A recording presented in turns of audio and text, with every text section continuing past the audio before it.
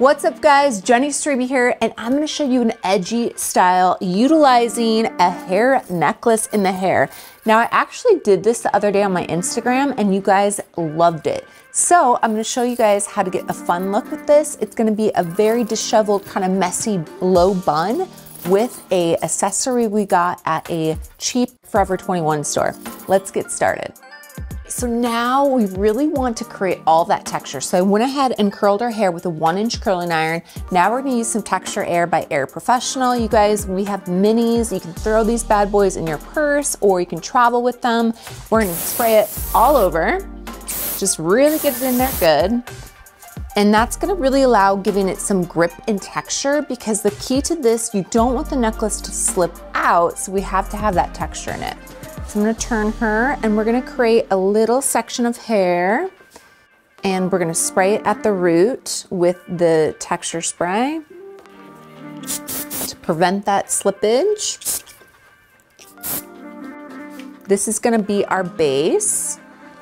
Now we're gonna go ahead and just create that ponytail.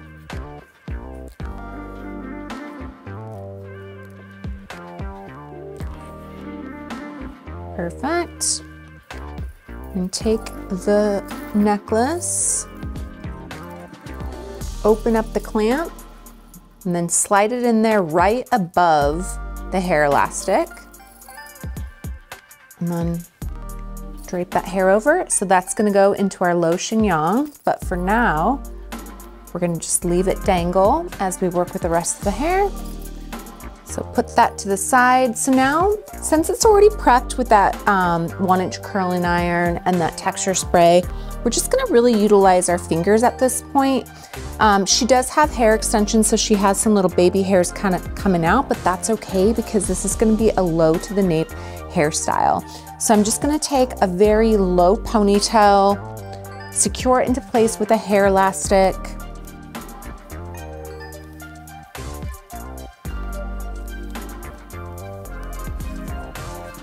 So that's gonna be our base for back here. Then we're just gonna do a simple twist.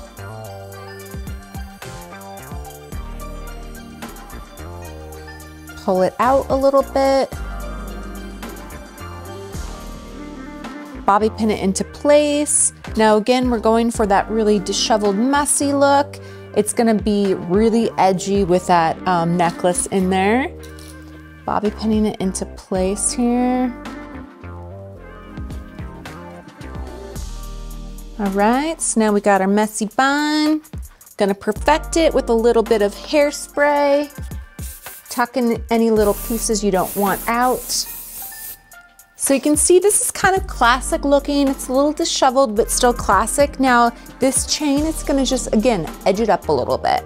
So we're just gonna drape that across and then pull it around and then take the ends and just bobby pin it right into place, into the bun.